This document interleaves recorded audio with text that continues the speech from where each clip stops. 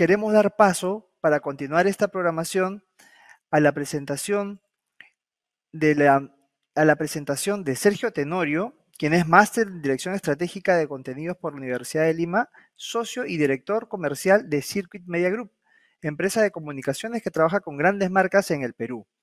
Asimismo, también es autor del libro Rebeldes y explica en diferentes eventos importantes como TED.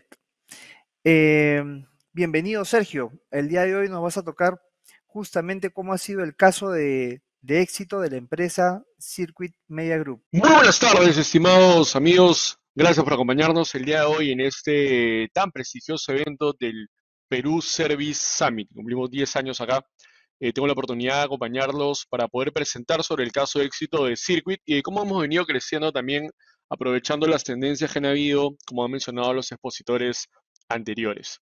Lo primero, eh, que quisiera hacerles un pequeño desafío, por así decirlo, dinámica, y es que quisiera que recuerde cada uno de ustedes alguna experiencia, algún momento que ha vivido de niño, de joven, que en su memoria lo tuvieran como si hubiera pasado ayer.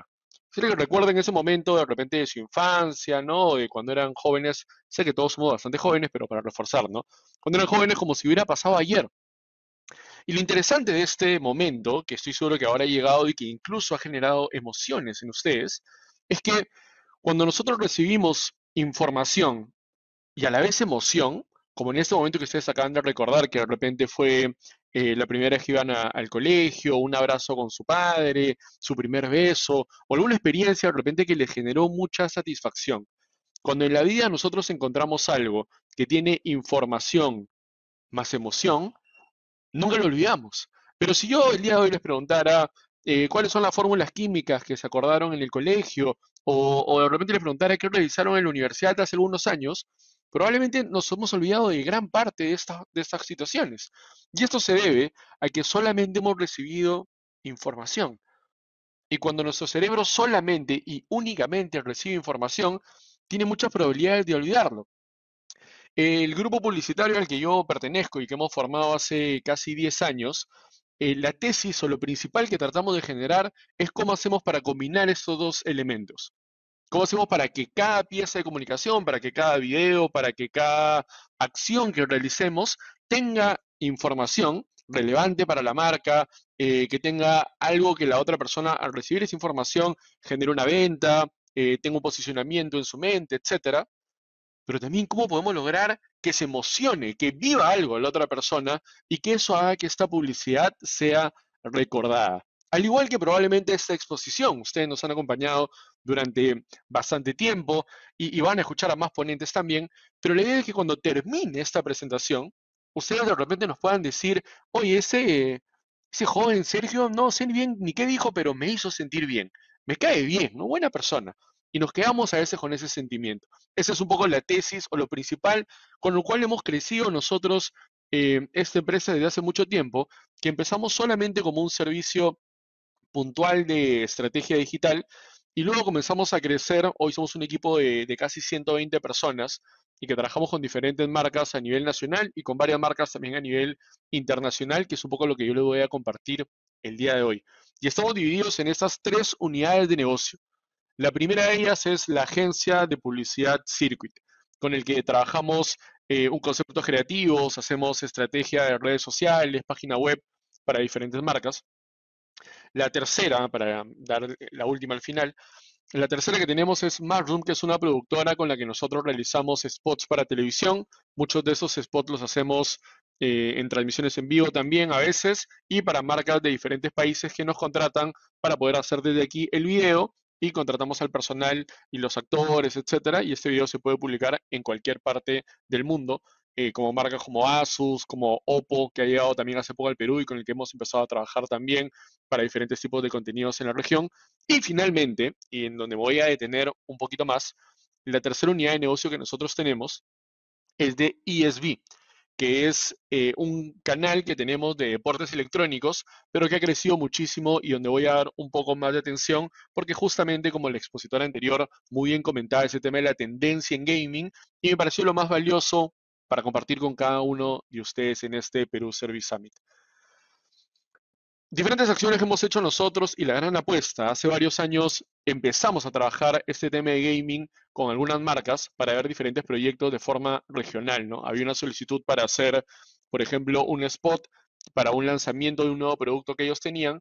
Nosotros eh, localmente creamos la estrategia de comunicación, vimos el tema de influencers para que cada región tenga un diferente protagonista en este video eh, y luego grabamos este video que se replicó en varias ciudades.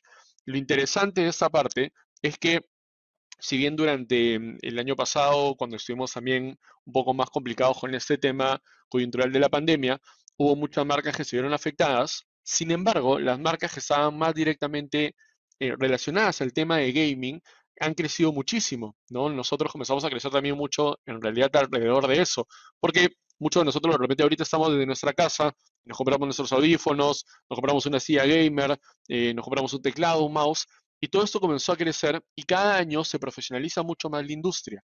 Entonces, comenzamos a, trabajar en diferentes de estas eh, campañas, ¿no? Como con Logitech, también con Claro, que nos hizo una solicitud para un torneo regional de, Valorant eh, que hemos desarrollado con ellos también, que es un torneo largo de todo el año, eh, con un premio de aproximadamente 10 mil a 15 mil dólares para el equipo ganador y que tuvimos la final justo el fin de semana pasado.